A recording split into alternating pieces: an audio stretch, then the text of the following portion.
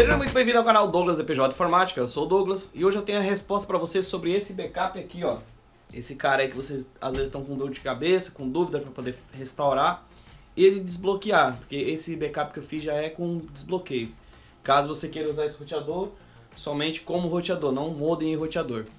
Eu vou te mostrar alguns passos agora na sequência do vídeo onde você vai acessar o vídeo, que você já vê, né? bem provável que a maioria das pessoas que acessaram e vieram fazer a consultoria comigo vieram por esse vídeo, certo? E do vídeo tem um link na descrição aqui, ó, para acessar o site para poder pegar o backup. Vamos lá, para pegar o backup que está aqui, ó, onde você vai clicar, certo? Eu fiz uma forma bem simples, bem fácil, bem prática, não tem erro. Se tiver alguma dúvida ainda mesmo assim, deixa nos comentários embaixo. Não esqueça de compartilhar e curtir e vamos pro vídeo, segura aí. Então vamos lá para a solução desse problema aqui. Você que tem um roteador desse, quer usar ele aí como somente roteador, né? Porque ele é modem e roteador, entendeu? Tem a solução aqui, vocês viram esse vídeo, ficaram com muita dúvida, então vamos dar continuidade aqui. Do modo mais simplificado possível, a gente vai pegar aqui, como você pode ver, ó, ele vai ficar desse jeito aqui, ó, depois que a gente jogar o backup. Para baixar esse backup, tem um link do site aqui, você vai clicar aqui, ele vai abrir o site desse jeito. Você vai clicar aqui, tá vendo? Clique aqui abaixo para baixar esse backup, tá vendo? Clique aqui abaixo, ó. Cliquei, ele vai direcionar para o ForShare aqui. Vou baixar aqui, tá vendo? Esse é o backup do modem. É o backup de desbloqueio. Baixar. Beleza? Baixou o backup. Perfeito. Agora que tá o negócio. Aqui na minha rede você pode ver que eu tenho com internet, porque está plugado em outra rede. Agora eu vou plugar no modem. É o que você vai fazer aí. Vai pegar o seu modem e vai ligar. Deixa eu pegar o cabo aqui só um minuto, peraí. Fazer uma manobra aqui. Aí, quase lá. E pronto. Pluguei o modem. Certo? No que eu pluguei o modem, ele já vai direcionar aqui para mim, ó, para conectar automático. Vou colocar aqui o IP 192.168.1.1 Ele já está logado aqui, mas ele vai pedir uma senha. Essa senha tem atrás do, do roteador para você poder logar nele aqui. Você vem aqui em Manager, vem em cadê?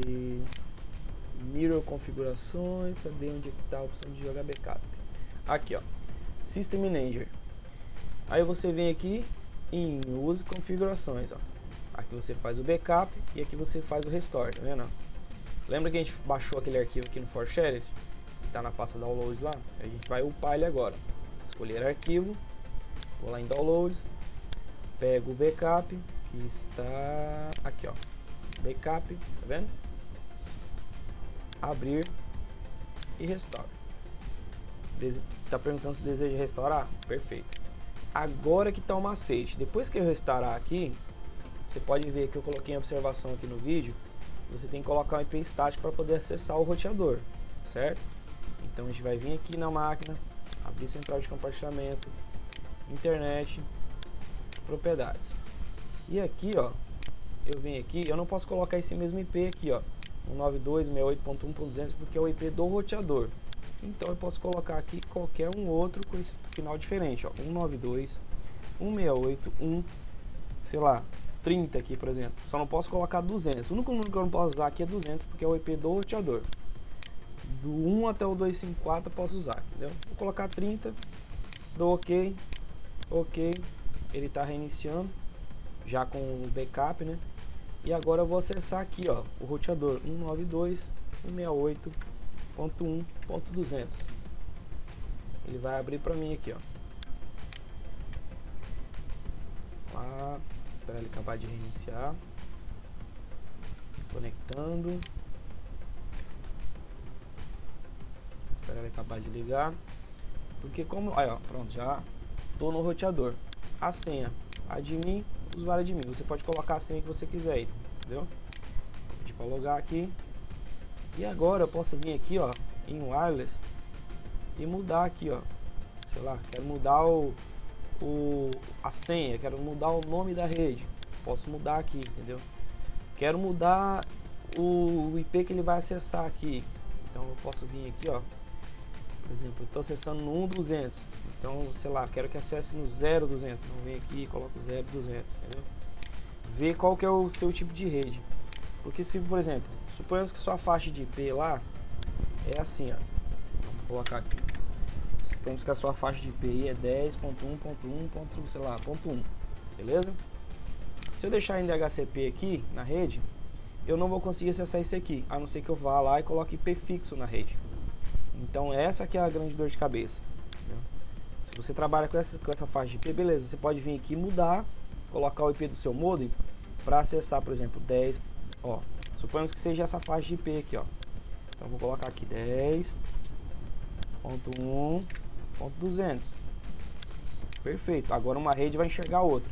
O que não vai acontecer de uma rede enxergar outra, suponhamos que um modem está trabalhando em 10.1 e a gente estava assim, com esse, com esse perfil aqui, ó, 192.168.1.200. São redes incompatíveis, tá vendo? Na faixa de IP. Um está trabalhando na faixa 192, outro trabalhando em 10.1. Então desse jeito não vai funcionar. Só recapitulando o que foi feito aqui, só para vocês entenderem mais uma vez. Vim aqui no vídeo, né? Tava assistindo o vídeo do unbox e tal. Gostei e tal, curti, compartilhei com a galera aí que o videozão tá sendo editado de graça. Aí eu vi aqui, ó, para poder baixar o arquivo. Cliquei aqui e foi direcionado para o site. Se você quiser me ajudar muito, você clica nos anúncios aqui, ó, tem os anúncios publicidade. Você clica, tá me ajudando demais. Beleza, vim aqui, baixei o arquivo. Ah, não esquece de ativar as notificações também aqui, ó. Baixei o arquivo, direcionou pro ForShare aqui, beleza, ficou em downloads. Fui lá no meu roteador, vim aqui, ele tava assim em home, vim aqui em Manager e Diagnosis, venho aqui em Mirror configurações, cadê? Não, System Manager, User Config Manager e venho aqui na opção Restore. Porque eu posso fazer o backup aqui ou posso fazer o restore. Restore é o backup que a gente fez. Então vem aqui, escolher arquivo e restaurá-lo, tá vendo? Abrir, cliquei em restaurar, prontinho, está configurado o seu modem já. O seu modem já vai vir configurado desse jeito. E para acessá-lo, não se esqueça de colocar um IP fixo lá, ó. Vou colocar aqui, ó. Outro IP você vai ver que é acessado do mesmo jeito, ó. 30, né? Vou colocar, sei lá, 90 ok, beleza, coloquei um IP fixo. Continuo tendo acesso ao roteador, tá vendo? Ó. Vou colocar aqui a senha aqui. Admin. Peraí. Ah, ele tá reiniciando aqui, peraí. Tá, tá reiniciando. Enquanto ele reinicia, foi isso. Não tem erro. Pegou o backup, reiniciou. Depois que você fez tudo isso, se você vir aqui e deixar DHCP, vai voltar a funcionar a internet. Ó, vou vir aqui, vou deixar DHCP, ó. Vai voltar a funcionar a internet que está ligado no roteador, porque o gateway que ele vai identificar é o do seu modem, porque o DHCP desse roteador está desativado, entendeu? Deixa eu ligar o cabo de volta, a minha rede aqui e pronto. Já vai estar tá funcionando a internet normalmente, entendeu? É assim que se restaura o backup e é assim que funciona. Se ficou com mais alguma dúvida, deixa nos comentários embaixo aí no vídeo. Marca aí no Facebook, compartilha, dá aquele joinha seu que ajuda bastante o vídeo ter bastante relevância. E a gente se vê na próxima, beleza? Valeu, obrigado!